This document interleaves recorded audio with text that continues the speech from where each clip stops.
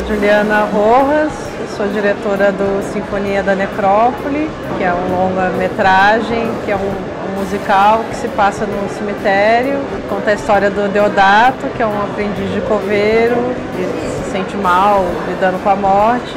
Eu penso na pessoa lá no caixão, fico imaginando como foi que ela morreu, aí vai me dando vai me dando um aperto no peito, sabe? Uma falta de ar. Louco. É, que esse trabalho mexe com a gente. É um filme que mistura comédia com elementos de cinema fantástico e horror e musical.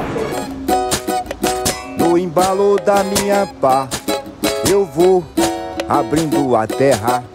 Aos poucos a gente cava a sepultura mais bela ser coveiro. E aí, de certa forma, ele é coerente com, com outros filmes que eu fiz, que também trabalham com cinema de gênero e com filme fantástico. Mas ele é um pouco diferente porque nesse no Sinfonia o gênero do horror não é o tom predominante. O tom predominante é a comédia, só que tem elementos também de suspense e de horror. Então é como se fosse um outro equilíbrio na, nessa mistura de gêneros é, que eu faço nos filmes.